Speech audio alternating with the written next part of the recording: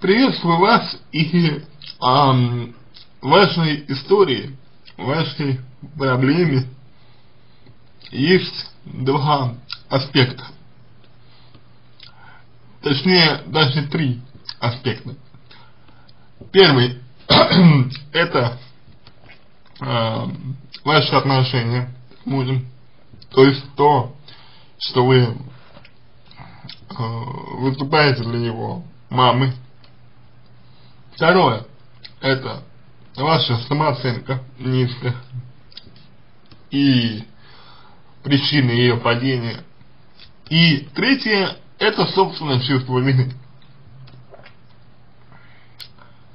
Пожалуй, начнем мы с самого начала. А с того, что вы э, упомянули лишь вскользь. Хотя в действительности это едва ли не э, самое важное. Значит, вы пишете, что в этих отношениях э, мужем, тогда еще мужем не бывшим, э, вы стали быстро зависимы. Потому что любовь была материнская. Это объясняется тем, что он вырос в семье, которая совершенно, в которой был совершенно не нужен. Из этого можно сделать вывод, что у вашего мужчины есть определенные комплексы, комплексы неполноценности, есть определенные стремления к тому, чтобы быть э, востребованным, быть желанным, есть э, э, реакционное чувство эгоизма, то есть когда для человека никто ничего не делает, человек, соответственно, считает, что кроме себя самого никто больше не способен э, ничем себя обеспечить. Но проблема заключается вот в чем. А, вы пишете, что стали быстро эмоционально зависимы. Значит, при условии, что вы э, люби, любили его как мать, то есть, то есть вы э, его оберегали, вы его ограждали от проблем и так далее, значит, эм, вот это мешает вам в данном случае нормально к нему относиться, воспринимать его как мужчину. То есть, а, основной вопрос, который я хочу вам задать, заключается в том, а почему вы относитесь к мужчину, относитесь к мужчине как мать? А почему вам самой нужно, э, значит, чтобы мужчина относился к вам снизу вверх, смотрел на вас снизу вверх? Почему вам нужно, чтобы мужчина э, во, э, во всем от вас зависел? Почему вы желаете, хотите а, все решать за мужчину? Не является ли данное поведение а, следствием какого-либо страха? Не является ли данное поведение следствием уже ваших личных отношений, например, с мужчинами до мужа, может быть, с родителями и так далее. На этот вопрос нужно найти ответ. Потому что вы не только были для него матерью, вам не только э, нужно было, э, чтобы мужчина вот э, от вас полностью зависел, но это определенно и повышало вашу самооценку тоже. Ведь вы сказали, что э, самооценка начала падать уже после э, определенных событий. Значит, пока мужчина во всем от вас зависел, пока вы видели, что благодаря вам у него стало все хорошо, и он начал реализовывать свои естественные социальные цели и роли, у вас все было в порядке. Как только мужчина вас, а, собственно говоря, предал, как вы говорите, предал, а, то момент а, сразу поменялся. Вы сразу начали чувствовать себя уязвленной, оскорбленной и так далее. при этом, понимая, что мужчина зависим от вас, вы не могли не знать, что человек зависимый э, является слабым, является внушаемым. И если смогли что-то внушить ему вы, а мы смогли внушить ему, чтобы он э, лечился, то значит кто-то другой, кто-то другой также сможет ему что-то внушить.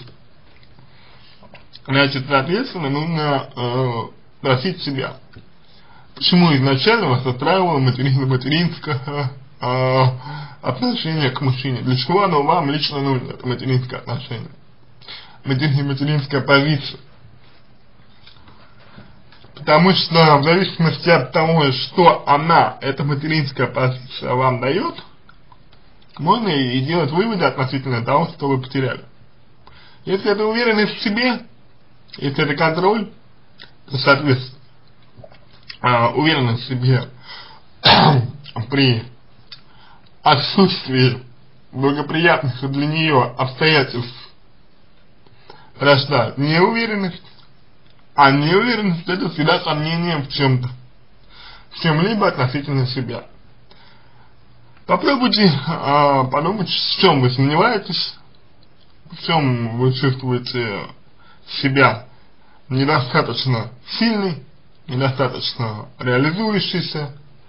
И эти моменты вам нужно проработать. То есть поставить себе определенные цели в, этом, в этих направлениях, распить их на задачи и в соответствии с этими, с ними, задачами, да, организовать свою деятельность по последовательному повышению своей уверенности в себе. Это в том, что касается материнского отношения. Дальше. Возможно, э, как женщина, э, вы стремились к тому, чтобы вот такой мужчина был с вами. Такой я имею в виду э, на позиции ребенка. И опять-таки, а, э, вас привлекает такой мужчина? Такой тип мужчин? Если да, то тогда а, получается, что вы недостаточно сильно его подчинили себе, своей воле, что он э, вас предал. Значит, э, как лидер в отношениях, как ведущий, вы тоже не справились с своей ролью. В чем это проявляется? проявляется это в том, что вы попытались взвалить на себя ответственность,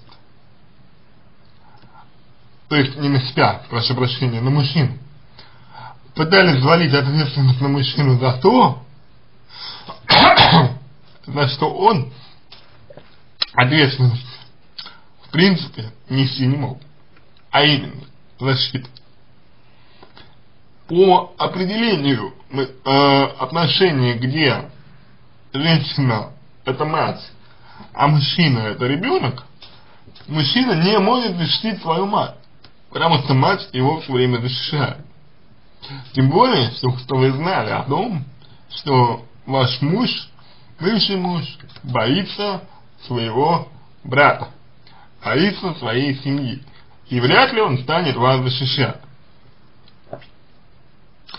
Тем не менее, вы от него э, потребовали защиты.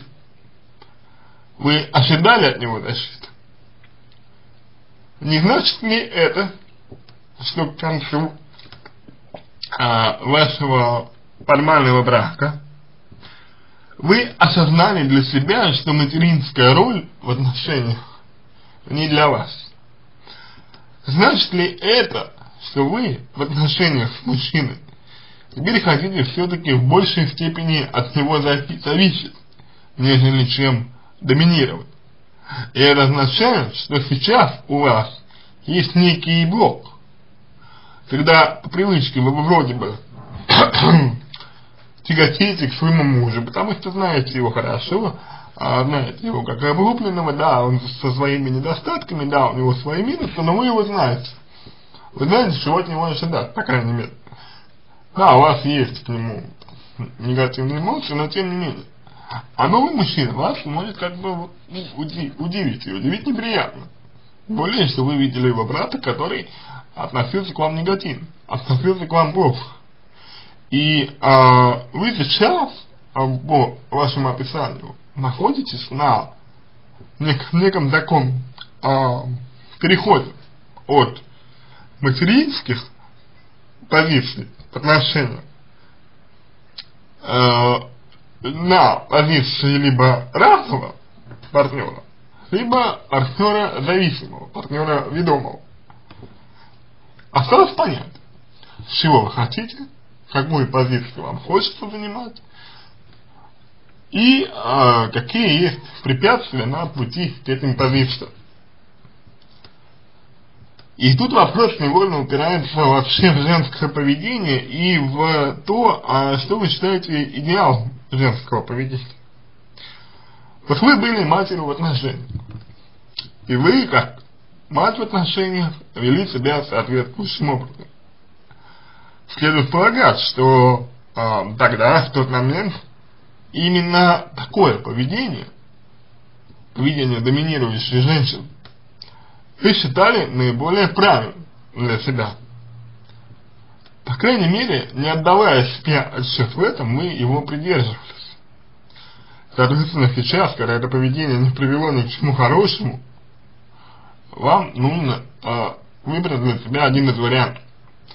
Либо вы свое поведение меняете, и тогда вы переориентируетесь на другое поведение, предварительно выбрав образ этого поведения – в зависимости от того, что вам нравится, что вас устраивает, что вас привлекает, что вас интересует и так далее.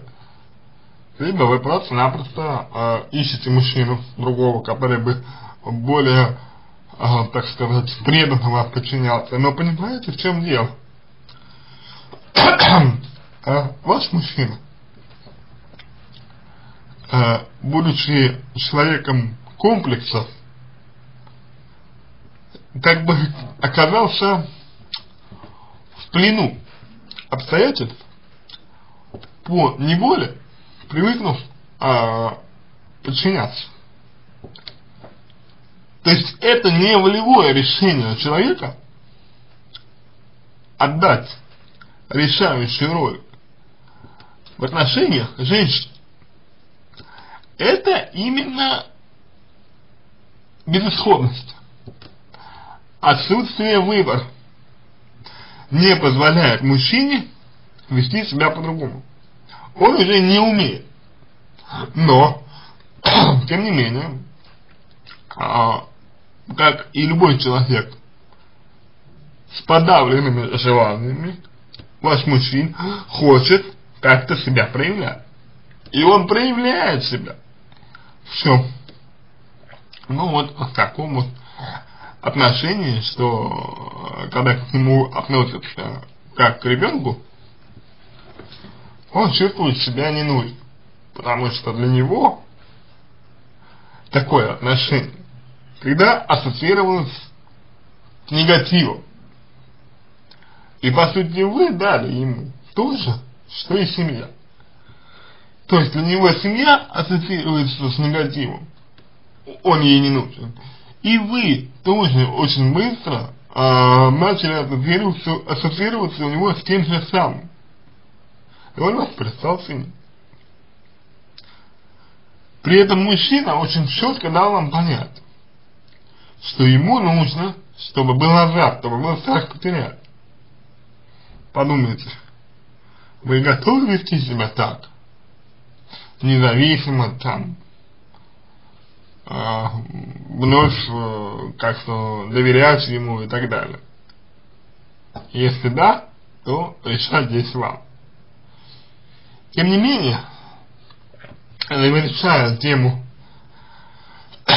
материнского поведения, хочется сказать так, что основной вопрос, который вам нужно себе задать, видите ли вы будущее этим мужчиной, судя по всему нет, потому что слишком много у вас было негатива. И если вы не видите к ним будущего, то какое будущее вас вообще с мужчинами, по вашему мнению? Какую позицию вы хотите занимать?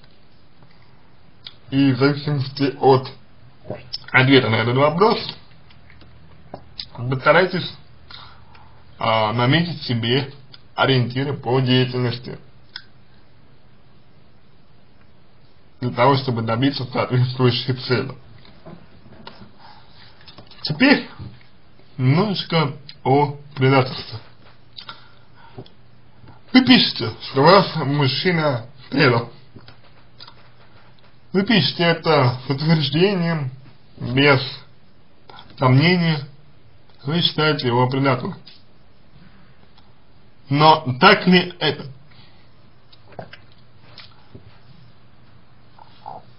Может быть, именно в силу того, что вы воспринимаете человека как предателя, вы надеетесь, что он изменится. Может быть, именно поэтому вы его воспринимаете как э, объект любви еще пока.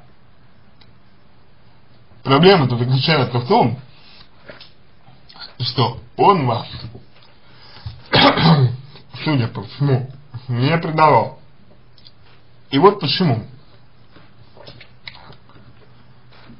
Как мы уже сказали, мужчина обладает определенной внушаемостью. И эта внушаемость человеку позволяет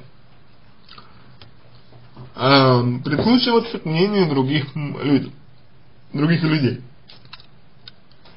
И человек был с вами, потому что он сам не мог, э, ну, грубо говоря, существовать. Существовать не мог он э, как самостоятельный мужчина. Он мог только быть э, ведомым. И, соответственно, он был с вами, потому что ему было удобно. Когда вы попросили его сделать то, что ему неудобно, а именно защитить вас, он этого не сделал. Вы его этим уязвили, вы выставили его не самостоятельным, и, соответственно, мужчина понял, что его интерес вы ущемили. И как только вы ущемили его интересы, он хладнокровно совершенно а, от вас отказывается. Предлагает развестись, разводится, он оставляет все так, что это нужно вам. Все это свидетельствует о том, что он придерживался своих интересов. Своих интересов человек придерживался при общении с вами. Это значит, э, что он не был эмоционально вовлечен в отношения с вами. Это значит, что он просто позволял вам быть с ним.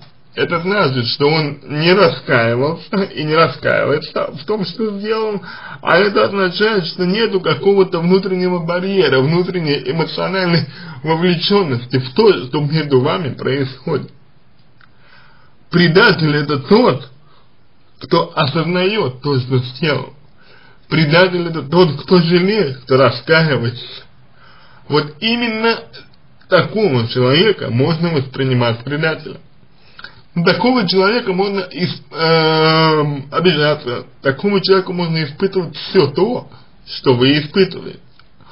Но, поскольку мужчина не раскаивается, значит, он был не тем, кем вы его себе представляли.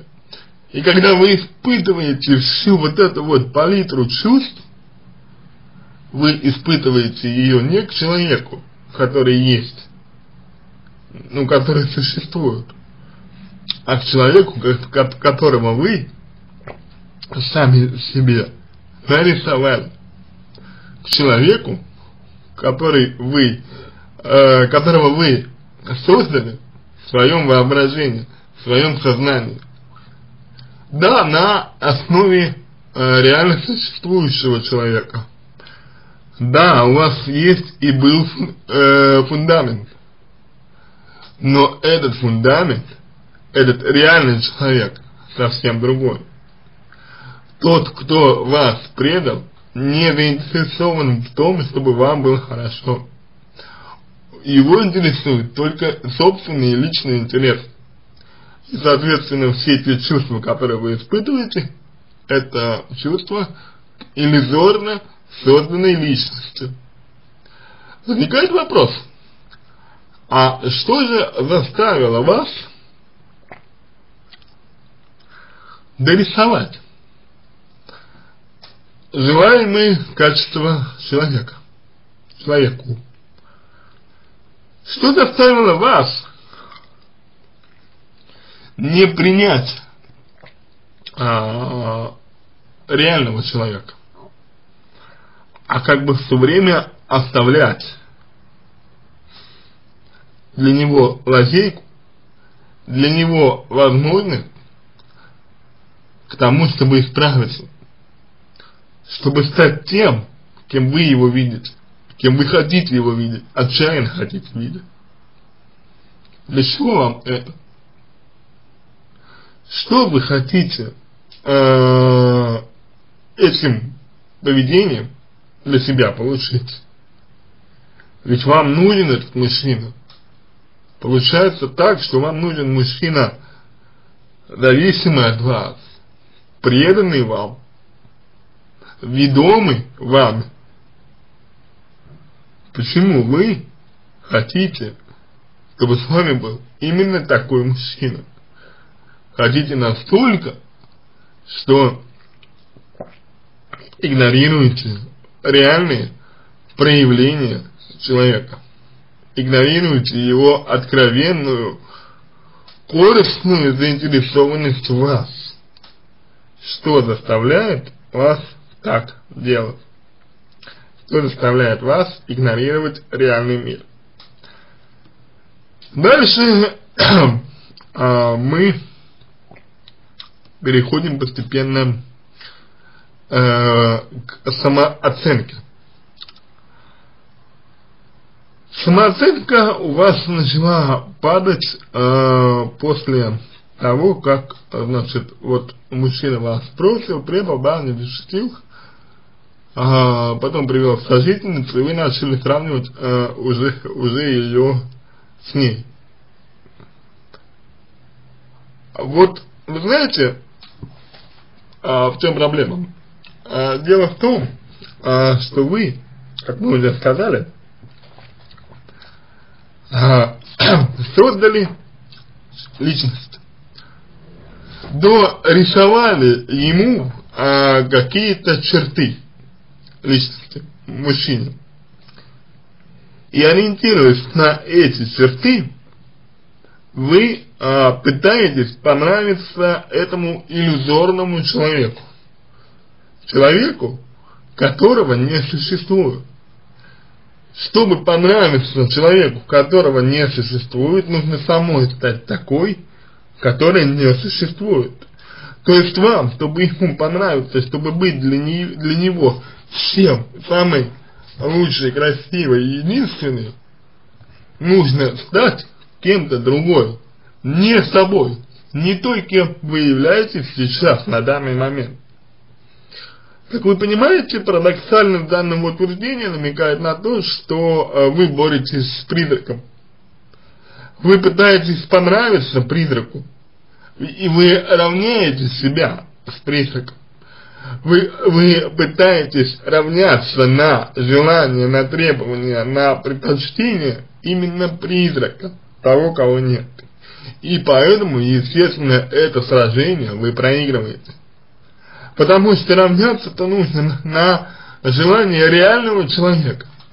А реальному человеку, вашему мужчине, нужна та женщина, которая его ни во что не ставит, потому что это единственный для него, судя по всему, а, образ позитивного поведения и позитивного отношения, и которая при этом ни во что его не ставит, сама за, э, всем заправляет. И все. Но для вас нуждающийся в мужчине, а, как ваш муж, это невозможно. И, соответственно, вы и не можете стать той, с кем ваш мужчина будет. Потому что вам-то нужно совершенно другое.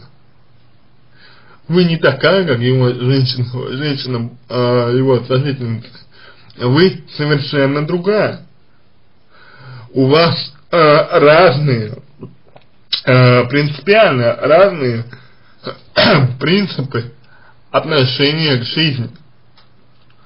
Если его женщина это уверенная в себе, э, эгоистичная, э, которая вот попользовалась им и бросила его, да, то вы хотите в этом мужчине, который вот вам э, предан, да, который от вас зависит, вы хотите находить в нем успокоение для самой себя.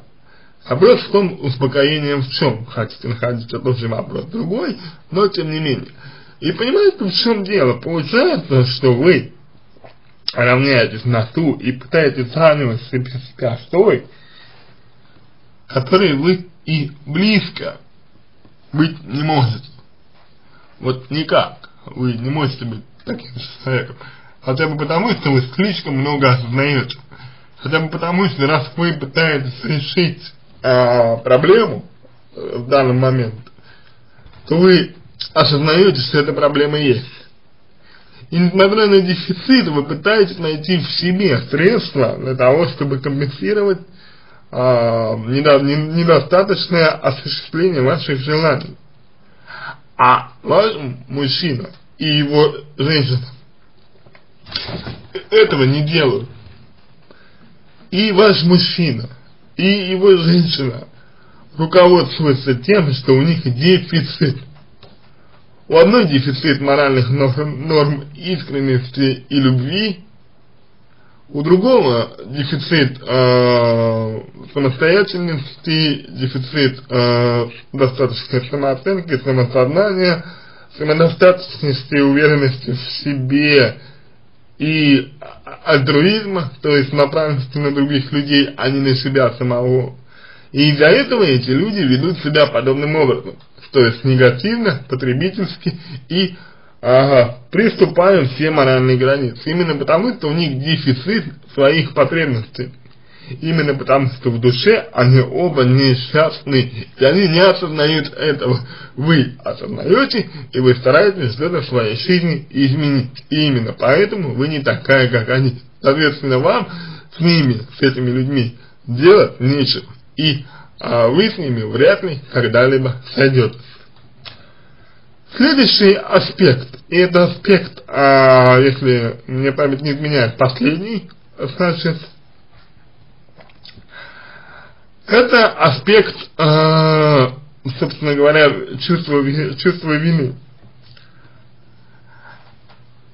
Проблема, которую вы сейчас э, в данный момент э, называете основной. Проблема, которая в данный момент является для вас наиболее значимой. Значит, что происходит, когда человек берет ответственность за то, что в принципе от него не зависит. Давайте по э, тексту вашего письма пройдем, пройдем сейчас.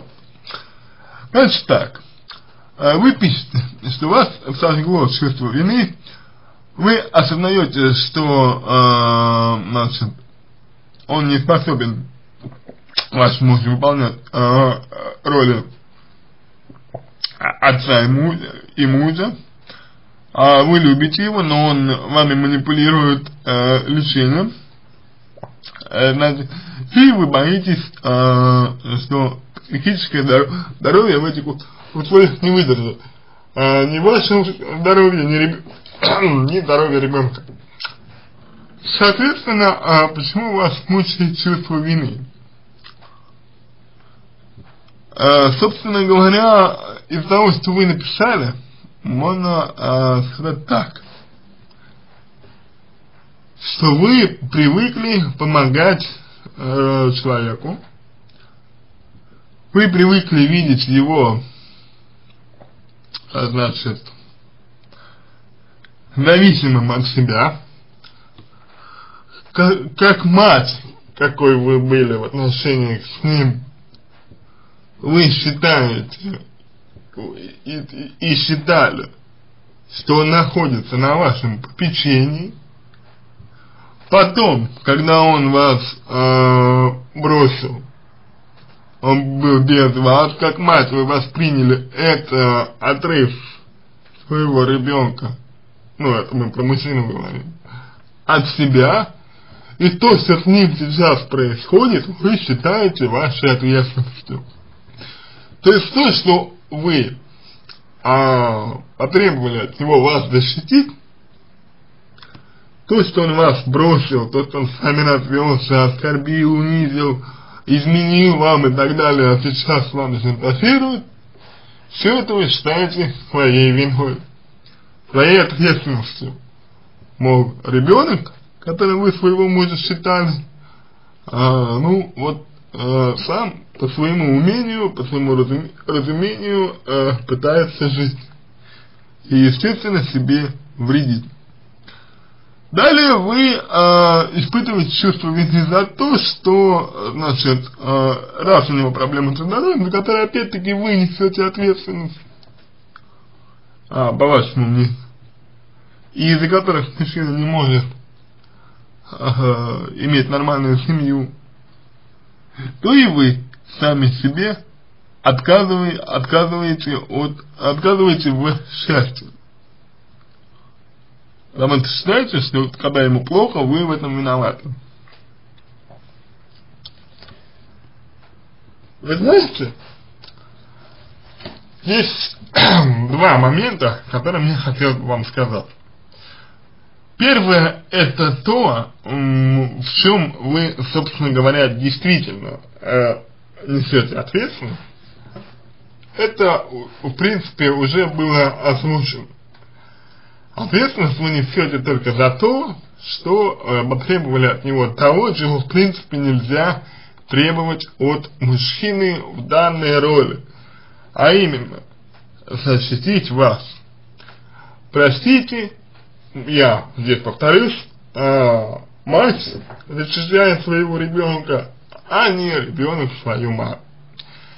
И вот то, что вы попросили своего мужчину вас защитить, говорит о том, что те отношения, которые вы выбрали для себя идеалом, не являются правильными. Да, вы в них побыли, да, вы ощутили на себе, что это значит быть матерью э, человека, который этого не ценит, и вы поняли, что, скорее всего, это не ваш, потому что вам ребенка нужно э, воспитывать, и два ребенка, простите, вам не нужно. А это значит, что мы, вы повернулись в сторону более классических равноправных отношений с мужчиной. Ну давайте спросим себя прямо, виноваты ли вы в том, что вы хотите быть женщиной с мужчиной? Вы хотите быть защищенной?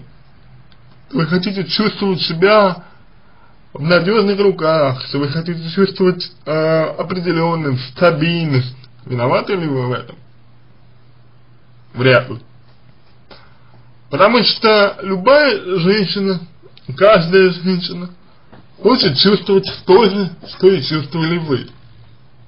Что вы хотите чувствовать. И то, что вы это осознали, на самом деле э, не делает вас виноватым в том, что э, мужчине плохо сейчас мужчина как раз таки сам своими действиями а, привел себя к такому состоянию. Это его выбор. А, болеть, это его выбор а, не иметь полноценной жизни, ведь на него кто-то давил, кто-то заставлял ему, а, кто-то заставлял его не лечиться. Нет. Напротив, вы предлагаете ему, ему э, лечение, но он не хочет. Почему? Потому что если он будет лечиться, то он будет делать что-то не для себя, по его мнению.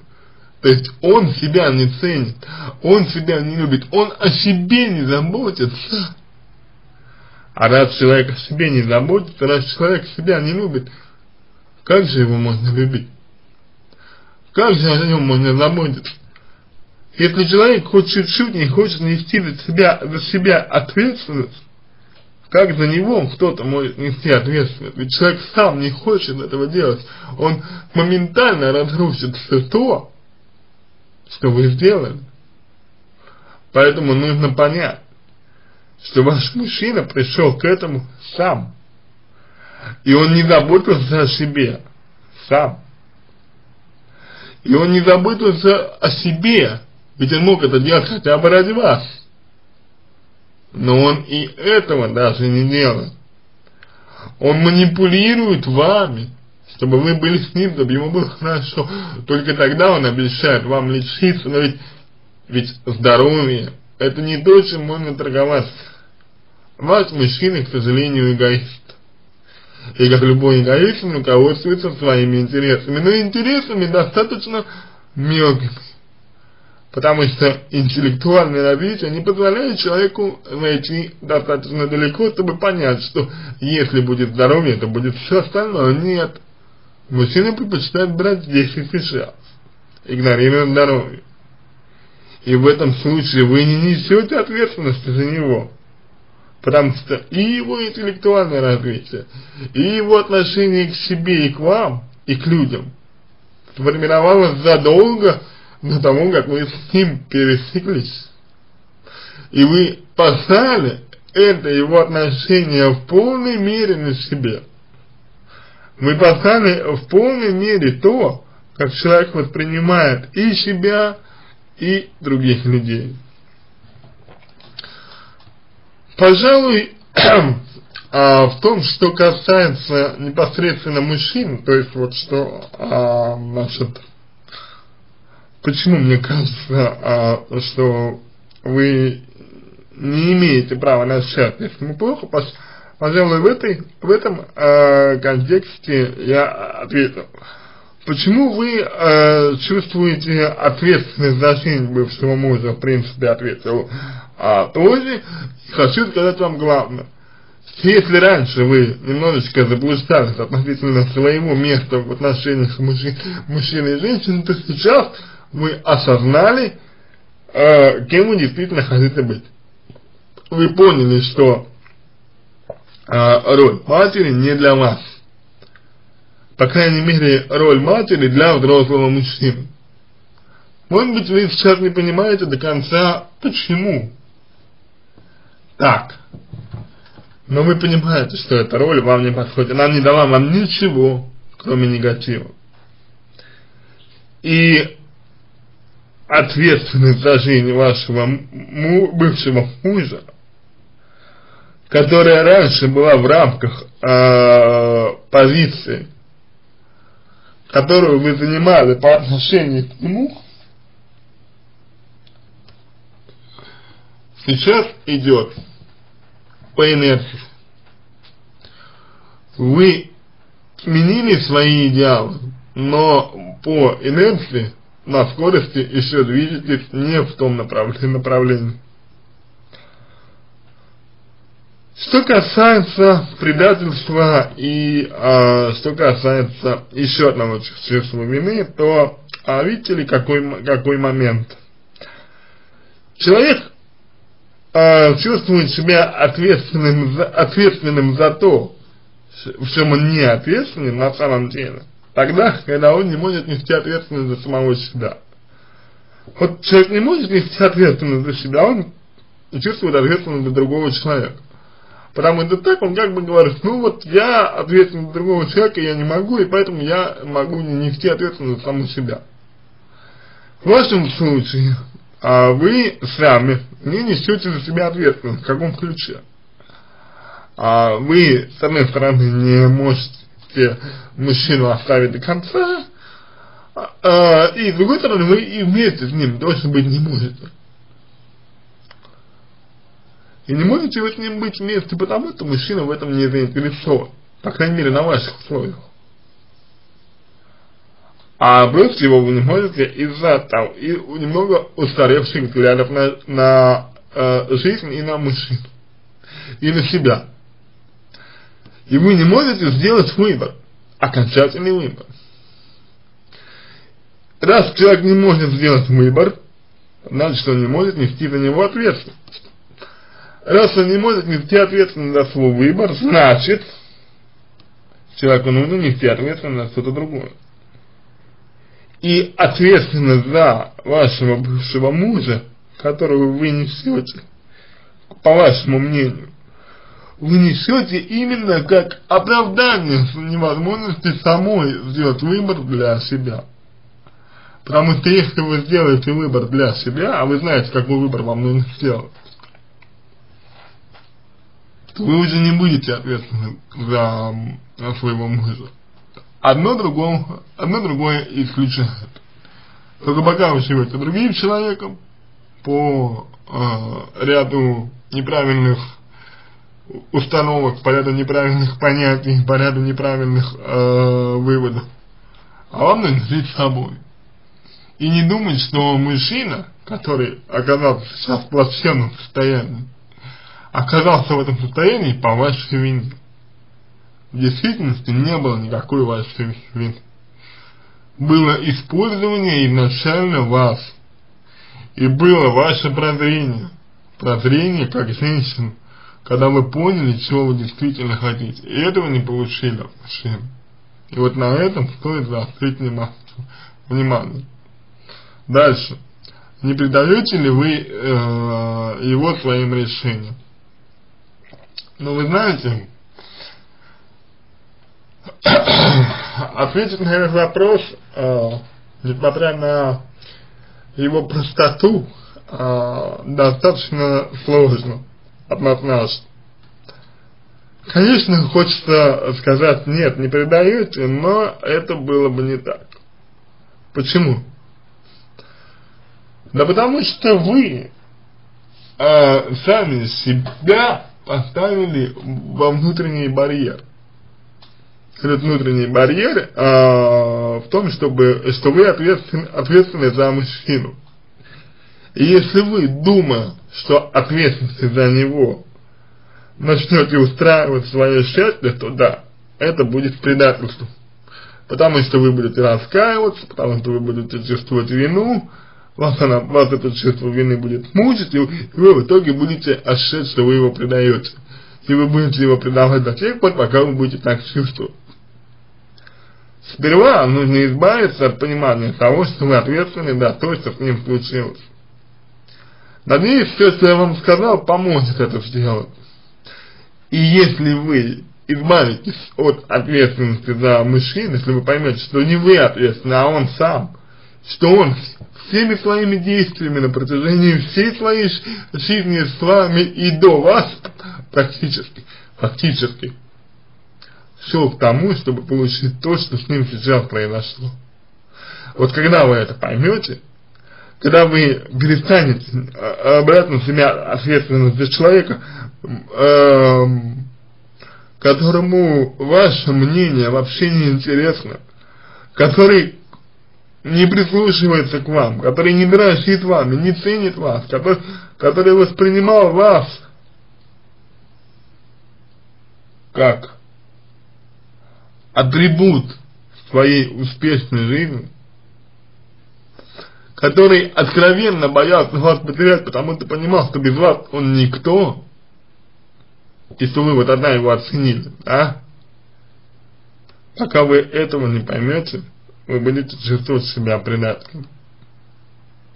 Но в действительности, и поскольку вы не ответственны за него, за его жизнь, действительности, поскольку вы поняли сейчас, ну точнее вот тогда, в тот переломный момент, что вы не можете и не хотите, видимо, быть матерью для мужчины своего, вы поняли, что это такое по-настоящему быть матерью для своего мужчины, и, и вы понимаете сейчас, что, что вы, а, если хотите быть матерью, вам нужен настоящий мужчина, классический мужчина, точнее, то нет. Вы не предаете своего бывшего мужа. Вы позволяете ему быть тем, кем он всегда был, позволяете ему быть тем, кем он хочет быть, Позволяете ему пожинать плоды того, что он получил в результате своего поведения, такого, как он хотел, А сами вы, сами вы позволяете себе быть самой собой. Сами вы позволяете себе жить так, как уже хочется вам, преследуя свои интересы, свои взгляды, которые интересуют уже лично вас. И никакого предательства в этом нет. Ну и а, уж выражаясь совсем житейски, а, используя такие уж простые достаточно а, слова, можно сказать так. Вот вы э, считаете, что мужчина вас предал, да? А что является предательством, а, точнее не так, что представляет собой предательство с точки зрения социальных отношений? Вот а, просто попробуйте себе это представить в виде модели. Есть а, социальные взаимодействия в социуме, в, а, в котором люди несут а, взаимные права и обязанности. В, эти, в этом социуме появляется человек, который считает, что у него есть одни права и нет обязанностей такой человек в силу того, что он э, выбивается из э, социальных связей, рано или поздно окажется вне социума. То есть, по сути, все, все то, что происходит с вашим мужчиной сейчас. Мужчина считает, что у него права и нет никаких обязанностей, и он оказался вне социума вне социума, он оказался по чьей? По своей. Он сам не захотел нести никакие обязанности по отношению к людям. Когда он оказался вне социума, этот человек остался там один. Потому что другие люди которые оказались вне социума, никак друг с другом не связаны в силу отсутствия связи вне социума. Каждый из них вне социума сам по себе. Я надеюсь, это понятно. А что случилось с теми людьми, которые э, находились в отношениях с этим человеком, когда, он еще был э, в социуме? Они же ведь находились с ним в отношениях. Но потом этот человек из этих отношений вышел, оказавшись вне социума. А люди-то остались там еще. Их там удержали отношения с другими людьми. Они не позволили этим людям оказаться также вне социума. И эти люди, оставшись там, в социуме, среди других людей, естественно, начали э, соприкасаться с, с другими людьми. И рано или поздно они вступят в связь, нормальную, полноценную, здоровую связь со своими правами и обязанностями, э, которые не могли построить с тем человеком, который оказался вне социума. Является ли это предательством? Ведь человек вначале сам себя поставил вне социума, другой человек, оставшись в социуме, продолжает там жить и, естественно, образует новые связи. Это нормально. Это естественный закон жизни. Поэтому, отвечая на последний вопрос, еще и так, можно сказать, что нет вы, не предаете своего бывшего мужа своих решений. Ну и чисто формально, он бывший муж. И он не говорит, что хочет э, сделать вас своей женой. Он не говорит, что хочет с вами семью, судя по всему. Только на его условиях, на его эгоистичных условиях. То есть ни о каком завоевании, возвращении вас речь не идет. Он дальше не извинился. А это значит, что он до сих, до сих пор ваш бывший муж, который отчаянно хочет, чтобы вы продолжали для него что-то делать, но желательно без обязательств супруга. Они ему не нравятся, они его тяготят. И такой человек, который не хочет строить нормальные отношения, он с точки зрения социальных взаимодействий никак не препятствует вам построению новых нормальных отношений. Ведь вы, по большому счету, уже давно перестали относиться к нему как к мужчине. Вам в ушах, вы ему сочувствуете, и, вероятно всего, путаете это с любовью. Потому что нельзя любить того, кого вы жалеете. А вы его жалеете, судя по всему. Это очень явно видно, что вы его жалеете. И потому нет никакого предательства. Нет никакого предательства потому, что и предавать нечего. Нет ничего, ничего такого, что можно разрушить предательством. Все и так давно разрушено. А если быть точным, то с его стороны никогда не было ничего построено. А вы одно время обманывали себя, думая, что что-то есть, что что-то построено. И живя иллюзией отношений, иллюзией неких конструкций, вы думали, что у вас есть что-то, что можно разрушить, что-то, что можно предать. Но в действительности ничего этого не было. Поэтому и предавать вам тоже нечего. На этом все. Надеюсь, что помог вам. А, если вдруг захотите продолжить общение, пишите. Буду рад помочь. Пока на этом все. Желаю вам удачи и всего доброго.